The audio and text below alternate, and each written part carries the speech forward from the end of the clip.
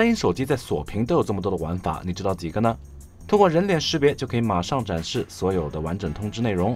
通过指定的手指就可以解锁，并同时打开指定的应用，还能定制自己的解锁动画。嘿，这些都是基础，我们走起吧。在锁屏的这个界面呢，我们只需要点击时钟就可以来到这里的一个界面。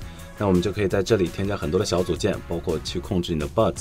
你可以通过点击这里的设置呢，再进入，就可以详细的去调整每一个你想打开的小组件。像这个数字健康，我们再来关闭，点击一下，就可以看到这里的一些数字健康的一些状况了。其实，在这个息屏界面呢，一样也可以打开这个快速模块的。我们只需要呢双击这里的时间，然后呢做一个下滑，就可以来到这个界面了。在这里，也可以在手机息屏的状态下面做一些操作，快速的观看。同样呢，我们可以在这个底部设置右滑打开闪光灯，再次右滑进行关闭，或者左滑直接开始进入这个录音机。我们只需要进入设置，锁定屏幕，进入这里的屏幕锁定，点击一下之后呢。就可以再点击这里图案去做任何一个调整，比如说快速打开计算器，右边呢可以打开 QQ 音乐，那么点击完成，那么下次再回到这个锁屏界面的话呢，就可以这样子直接进入计算机了。但是呢，有些应用是需要你来解锁的，就像这样子就会进入这样一个解锁的界面，然后对着人脸就可以直接进入了，还是蛮方便的。我们呢进入 Good Lock 之后呢，这里的 Lock Star。可以对这里的所有的组件进行一个位置的移动，通过点击这里的小的点的话呢，就可以来显示它的一个展示的方式。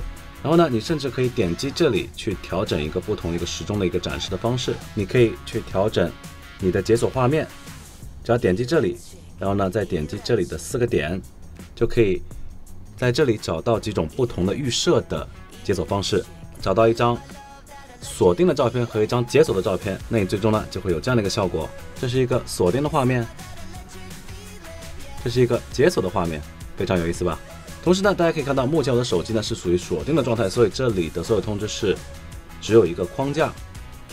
但具体通知的话呢，我只需要对着我人脸做一个识别之后呢，它就可以在这里展示了。我们呢只需要进入安全与隐私，然后呢找到这里的生物识别，点击这里的。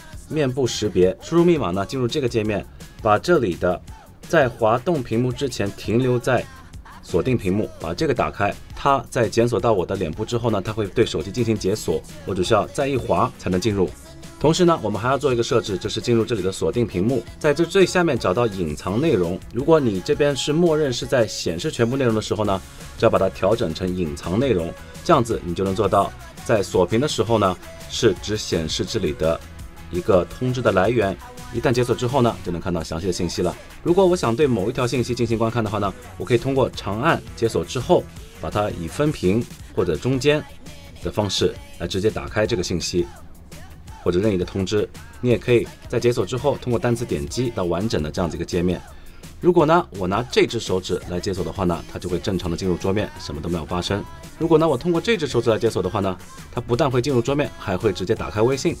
那进入这个呢，我们需要进入 Bixby 日常，点进去之后呢，我们再做一个全新的，点击这里加号。如果这边呢选择用指纹解锁，比如说我这边是指纹一，则你可以在这里呢找到非常多的不同的设置进行设置。那我刚才这个展现方式的话呢，就是在这里打开某一个应用程序或操作，那这里就可以有非常多的应用可以做个选择。你可以简单的去打开一个应用。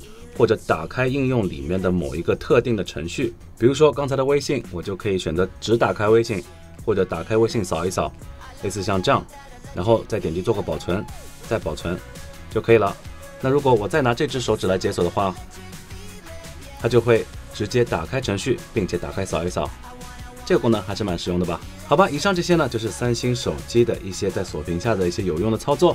如果觉得这个视频有用的话呢，就点个赞吧。另外呢，还有九天三星的新品发布会即将到来啊，不要忘记来我的直播间和我一起观看三星的新品发布。